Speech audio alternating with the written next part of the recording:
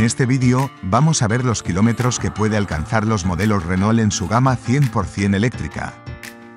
Repasaremos su autonomía eléctrica en circulación urbana y mixta, según los datos técnicos que ofrece la marca en su web. Los valores ofrecidos por la marca son mediciones según el protocolo WLTP. Esos valores no son exactos en nuestra conducción diaria, ya que el consumo de la batería se ve afectado por la temperatura, el equipamiento eléctrico y el modo de conducción. Comenzaremos el ranking de menor a mayor autonomía.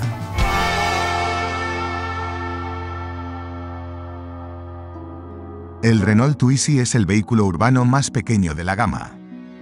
Con su pequeña batería de 6,1 kWh, alcanza los 100 km en su versión menos potente de 5 caballos.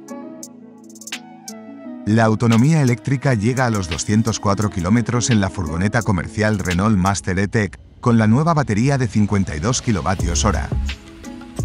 El Renault Twingo con su batería de 22 kWh puede llegar a alcanzar 190 km en conducción mixta y 270 km en urbana. Hasta 285 km en conducción urbana y extraurbana tiene de autonomía la Renault Kangoo. En cambio, la versión furgón de Kangoo ofrece hasta 300 km de autonomía con la misma batería de 45 kWh.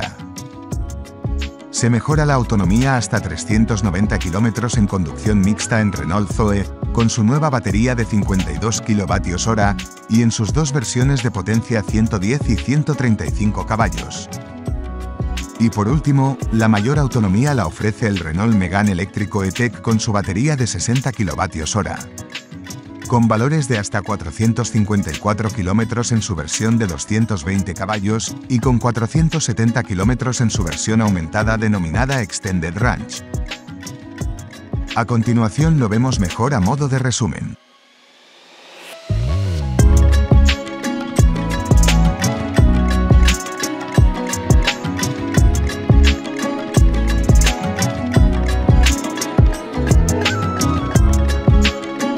Próximos vídeos hablaremos sobre la batería de tracción y las estaciones de carga. Por favor, no olviden suscribirse a mi canal.